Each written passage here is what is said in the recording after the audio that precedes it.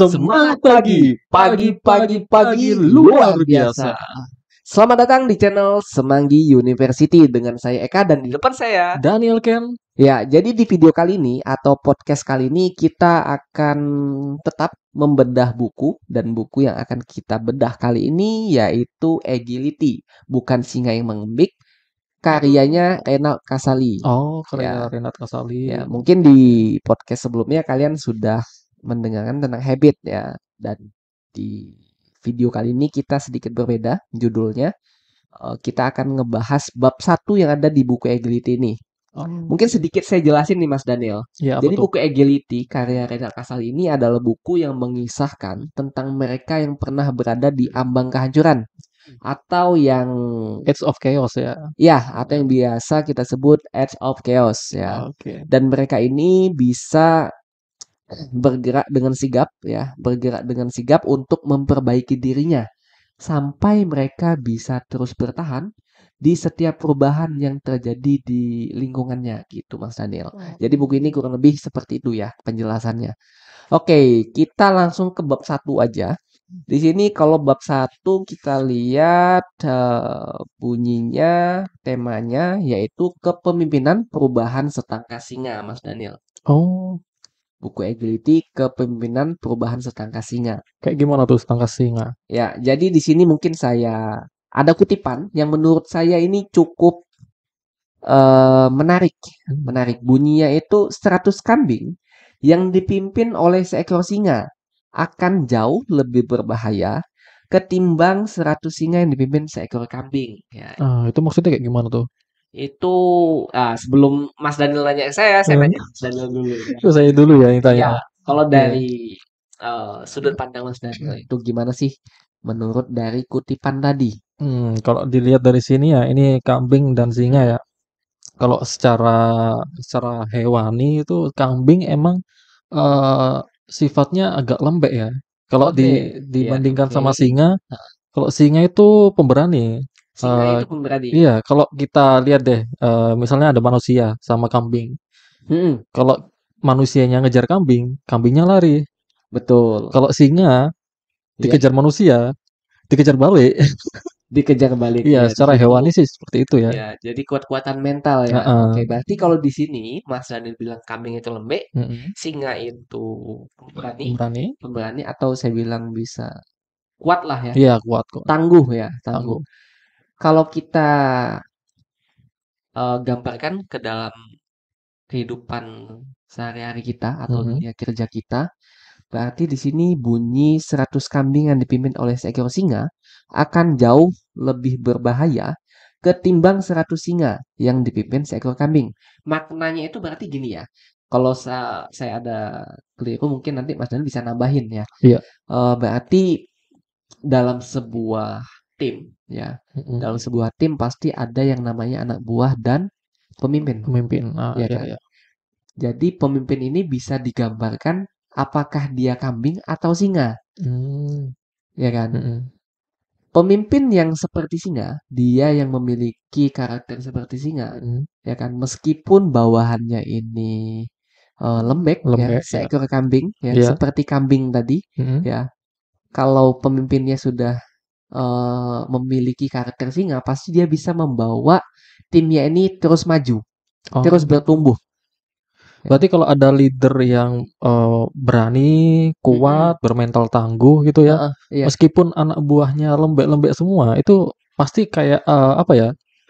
Terpengaruh gitu loh anak buahnya. Betul, Ah, dia semacam terafirmasi lah ya. hmm, iya, iya. Semangatnya itu tertularkan. Tapi Hmm. sebaliknya, kalau pemimpin ini, leadernya ini dia bermental seperti kambing ya, meskipun anak buahnya itu singa semua ya Mm-mm. kan. Meski jadi kalaupun ada rintangan ya ataupun ada perubahan dia pasti akan lambat beradaptasinya. Kenapa? Karena kalau menurut saya itu kesalahannya ada di leadernya. Oh. Karena dia belum bisa mengarahkan setiap timnya atau setiap eh, orang yang ada di timnya gitu.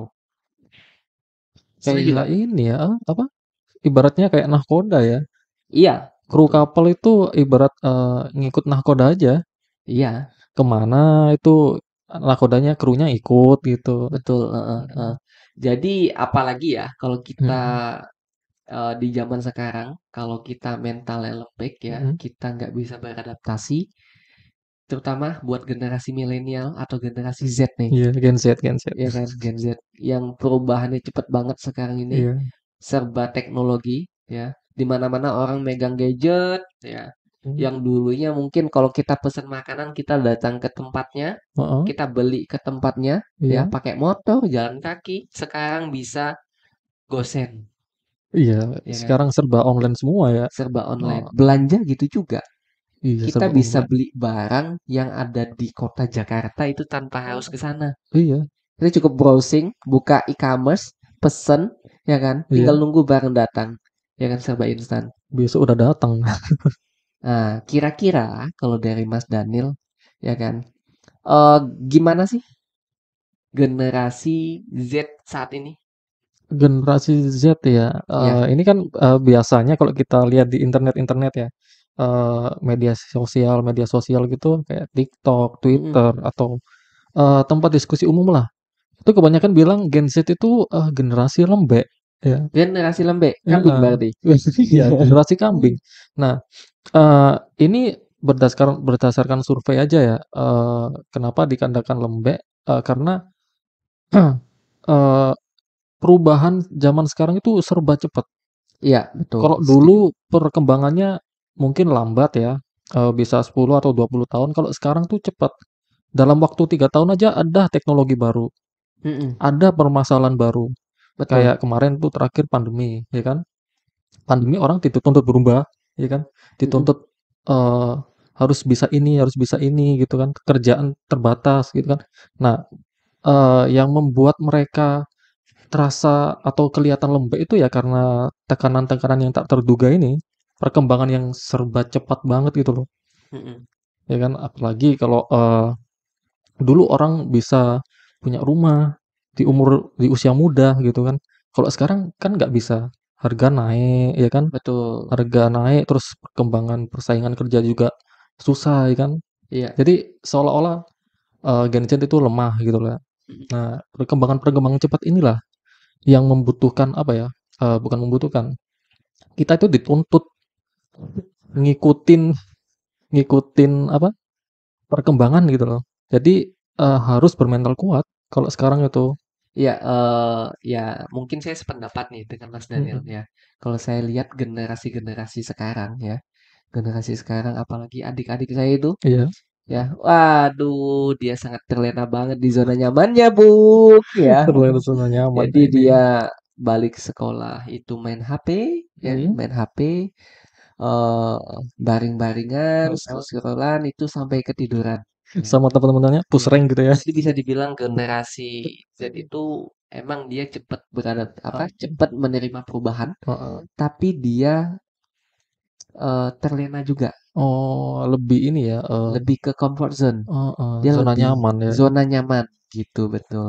Berarti di sini salah satu apa, eee, hal yang perlu kita ingat sebagai generasi, eee, Z atau generasi sekarang ya, Mhm. kita harus secepatnya sadar diri ya, Mhm sadar mhm. diri untuk berubah, untuk mengubah kebiasaan Mhm. kita, karakter kita menjadi seperti karakter singa tadi, ya, Mmm, ya kan? eee, mental kita harus disiapkan ya ke era-era sekarang ini ya. Iya, betul sekali. Jadi, eee, apa, eee, mental leadership-nya kayaknya sudah mulai harus diasah, ya mhm, kan, harus diasah banget. Eee, apalagi kan kalau, eee, generasi sekarang kayaknya terlalu cepet, eee, menyerah juga ya. Mhm, cepat menyerah Mungkin juga. dia ada ide ada ide luar biasa, ya kan, ide yang cukup bagus lah, Heeh. ya kan, pas dicoba sekali, 2 kali gagal, udah nyerah. Iya, itu itu, eee, kurang apa ya, kurang gigih lah kalau kita lihat. Kurang gigih, ya betul. gigih. Ini, eee, seperti penjelasan di, eee, buku Agility tadi, Mhm. kepemim kepemimpinan perubahan setangkah singa. Jadi jika kita setangkah singa, maka kita bisa melakukan perubahan. Di Mmm. sini ada, eee, pembahasan yang kedua lagi nih Mas Daniel di bab Mhm. 1 ini, yaitu ada dijelasin, eee, 2 mental yang Mmm. dimiliki kebanyakan orang-orang. Apa apa aja tuh? Yang pertama ada mental penumpang sama mental pengemudi. Oh, maksudnya kayak gimana? Eee, jadi di sini kalau dijelasin ya, mental penumpang itu adalah mental yang, eee, tahulah penumpang ya, bisalah menggambarkan penumpang tuh kayak gimana, Mhm, ya. penumpang, Dia eee, oh, itu mhm. boleh ngantuk, ya kan, Mhm. boleh tidur, Mhm. kemudian dia arah jalan tuju apa, arah jalan tuh dia nggak perlu memperhatikan, nggak perlu Mhm. toleh kanan, Udah toleh bodo amat ya, pokoknya dia bodo amat, ngikut ya aja kan. gitu ya? Dan dia tidak perlu merasa merawat kendaraan, tidak Mhm. menuntut diri untuk mengambil inisiatif ketika jalan macet atau tersumbat, ya. Mhm. Kemudian di sini dia, eee, cenderung menghindari resiko, Mmm. ya. Ya seperti penumpang lah, Iya kita iya. kalau di mobil Kalau kita misalnya dibonceng orang pasti gitu sih. disetirin, Heeh, ya kan, iya iya. Tidur, Tiduran eee, udah nggak apa, peduli apa-apa, tuh. eee, menguap, apa, angop, Angop, angop. bahasa Jawanya angop ya. Kalau bahasa Iya, Indonesianya apa? menguap. Menguap, Iya. ya kan, ngantuk, Menguap, tidur. ngantuk. Beda dengan yang nyetir, dia selalu melek. Melek gitu ya, Mhm. fokus. Dan bedanya dengan mental pengemudi. Nah, ini mental pengemudi kalau di buku Agility adalah mental yang harus dimiliki oleh setiap orang. Ya, kenapa? Karena, eee, seperti pengemudi yang kita lihat ya, Mhm. Pengemudi itu pasti dia tidak boleh mengantuk. Tahu kan resikonya kalau dia ngantuk? Iya pasti nabrak lah ya. Nabrak, Heeh, kecelakaan di jalan tol banyak, nabrak Heeh. pohon, terjun bebas, macam-macam, ya kan. Kemudian di sini pengemudi juga harus tahu arah jalannya ke mana, ya kan, tujuannya ke mana. Misalnya jalannya macet nih, Mhm. ya kan, atau jalannya ditutup nih, Iya. pengemudi harus tahu alternatif Harus jalan itu heeh, ke mana. harus inisiatif ya. Iya, harus punya inisiatif. Kemudian, eee, mental pengemudi juga Mhm. bisa digambarkan adalah mental yang, eee, berani mencoba. Mhm, Ya mengambil kan. resiko. Ah, iya. Eee, biasanya saya pernah ini Mas, naik Heeh. naik Gojek. Naik Gojek. Naik Gojek. Dia inisiatif, Heeh. Tujuan udah ada di map, Heeh. ya. Ngambil inisiatif belok lurus, dia belok kanan. Kayaknya lebih cepet kan, "Pak, kok Oh. lewat kanan?" "Kayaknya lebih cepet Mas," katanya, Jalan ya. tembusan mungkin. Iya, jalan tembusan, pas lewati buntu, puter balik. Ya ini, tapi dia punya mental mental pengemudi. Iya iya iya. Berani mencoba, berani mengambil resiko. Kemudian, eee, mental pengemudi ini juga dia, eee, apa, eee, orangnya berinisiatif. Di buku ini dijelaskan orang berinisiatif, berani melangkah dan mengambil ketindakan dan mengambil tindakan ya. Dan mental pengemudi ini selalu menjadi sorotan. Kenapa? Karena dia eee, selalu memberikan solusi untuk orang Oh, lain, iya. seperti itu.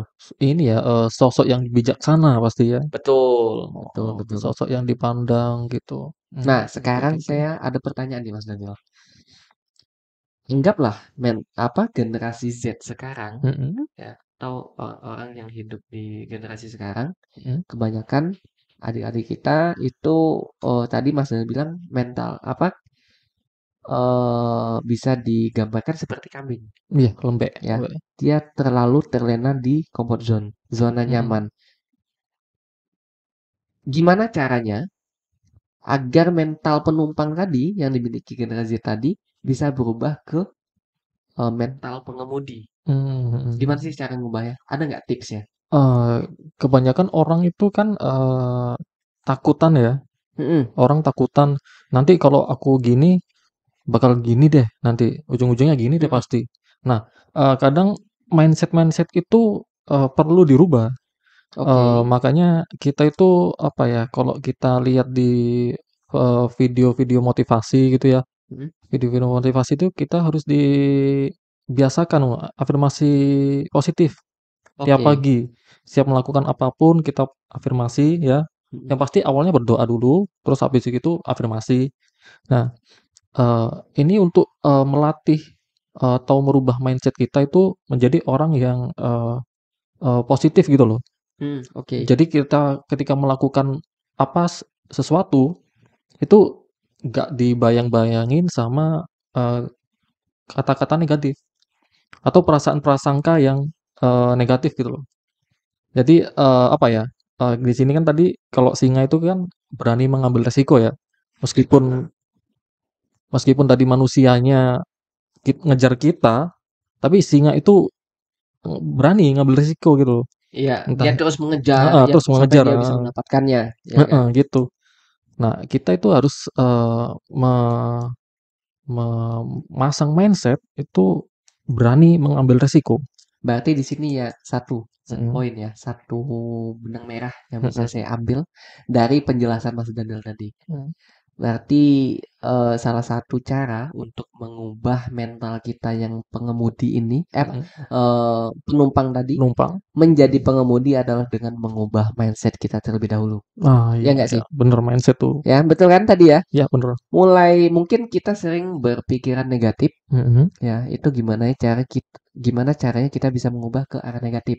Bisa dimulai dari bangun tidur tadi ya. Mhm, bangun tidur Kita bersyukur, terus kita afirmasi, "Aku pasti bisa," dan dan dan dan jangan terlena sih ya. Nggak terlena juga. Kadang emang ketika kita sudah berada di zona nyaman, itu sangat mudah terlena.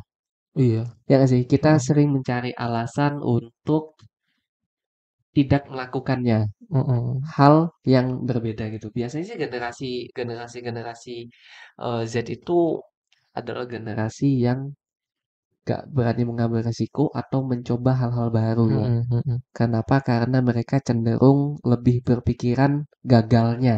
Mhm, terlalu Ya. mikir gagalnya dulu gitu loh. Heeh, gitu. Oke oke oke. Jadi, eee, kalau di buku Agility ini eee, Agility itu kan kalau kita lihat artinya kelincahan. Iya, agility itu ketangkasan, kelincahan gitu ya. Kelincahan, mhm. ketangkasan ya, agility. Berarti kita gimana caranya bisa lincah, Mhm. bisa tangkas seperti singa. Mmm, itu untuk menghadapi ini ya, eee, Menghadapi setiap perubahan. Ya perubahan. mungkin kalau kita tarik kesimpulannya Mhm. dari buku ini, ya kita tarik kesimpulannya dari buku ini, kalau orang itu sudah mulai memiliki karakter Mhm. atau mental seperti singa, dia pasti bisa bertahan di setiap perubahan. Mmm. Ya nggak sih? Apalagi kayak kalau kita nggak bisa beradaptasi dengan perubahan, Mhm. ingat Nokia? Iya. Oh Ya. iya, Nokia Nokia, heeh. Itu gimana kejadian Nokia? Iya. Masih Oh, iya kalau Nokia tuh, eee, apa ya, eee, dari pemimpinnya sendiri, eee, CEO Nokia pada waktu itu ya, eee, pada saat waktu HP itu ada inovasi terbaru, dulu kan Nokia pakai, eee, apa ya, Symbian sama Java ya. Iya, Terus oke. ada teknologi baru namanya Android waktu itu. Jadi ada 2 waktu itu ya, BlackBerry sama Android. Cuman yang lebih populer dulu itu BlackBerry ya. BlackBerry pada Black masanya ya? heeh, BlackBerry. Nah, habis itu Nokia nggak mau nggak mau ikuti perubahan gitu loh. Iya, nggak mau apa, eee, nggak nggak terlalu merespon Heeh, nggak perubahan yang terlalu ada. merespon gitu Seperti loh. Android Heeh. gitu ya. Nokia mungkin juga menghadapi situasi tersebut ya, terlalu nyaman di zona ini, di zona nyaman gitu loh. Heeh. "Ah, aku gini aja udah gede kok." Emang Nokia waktu itu emang gede banget kan, Iya, HP sejuta betul. umat gitu loh. Sampai Nah HP saya Nokia andalan lah pokoknya. Jat Tahan jatuh dari sepeda itu masih nyala itu. Iya, Nah luar biasa nah itu itu. bukti kebesaran Nokia waktu dulu ya. Jadi udah di berada di zona nyaman. Ketika pesaing-pesaingnya itu berani mengambil risiko pindah ke Android, Samsung contohnya ya kan. Hmm. Samsung contohnya udah berani mengambil risiko. Ya Heeh. udah deh, udah nggak pakai Java lagi, Iya. nggak pakai Java lagi, pindah Android. Akhirnya sekarang Samsung sukses kan. Betul. Nokia bangkrut tuh tuh. Mhm. Nggak pernah mau pakai Android dia. Saya saya sampai ingat saking cepatnya perubahan. Iya, Tahu kecepatan. HP, Mhm. mereknya saya sebut aja, Iya. Oppo Oppo. misalnya. Iya. Hmm, hampir berapa bulan sekali dia ngeluarin seri terbaru. Iya, setiap bulan kayaknya Oppo udah Reno Oppo Reno. F Oppo Reno 4, Heeh. 5, 6, 7, oh nambah Itu kayaknya terus. dalam setahun bisa bisa berapa kali rilis ya dia. Iya, dan itu fiturnya pun meningkatnya nggak terlalu jauh ya bedanya. Iya, Ya. beda-beda dikit lah ya. Ya, jadi kurang lebih seperti itu Mas Daniel. Mhm mhm. Ada, eee, poin ya, di sini saya nggak membahas secara menyeluruh isi Mhm. babnya ya. Eee, karena kalau di bab ini ya, kalau teman-teman mau tahu, dia ini lebih banyak menceritakan cerita nyata. Cerita nyata dari kebangkitan seorang pemimpin. Entah itu pemimpin negara, entah itu pemimpin, Perusahaan. perusahaan Mhm. ya. Jadi di sini uh, yang kita bahas adalah tentang sikap atau kepribadian atau karakter yang bisa kita ingat atau yang perlu kita ingat untuk menghadapi perubahan yang ada. Hmm, ya. Jadi poin pentingnya di situ pembahasan bab satunya. Ya, ingat kutipan yang pertama tadi apa tadi? Apa tuh bunyinya? Ayo, ayo. Sebentar.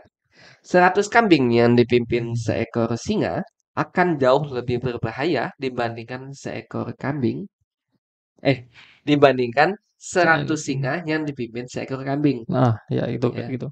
Jadi kita itu harus punya mental seperti singa agar kita bisa terus beradaptasi dengan perubahan yang ada karena kita akan membawa tim-tim kita eh, rekan-rekan kita terus maju mm -mm, menghadapi terus perubahan ya ya terus bertumbuh seperti itu oke okay. Oke okay, uh, buat kalian mungkin ya yang masih ada uh, mungkin sudut pandang sendiri terkait bab satu kepemimpinan perubahan setangga singa di buku Eglit ini bisa kalian tulis di kolom komentar oke? Okay? kita akan jumpa di bedah buku selanjutnya. Sampai jumpa di video selanjutnya. Bye bye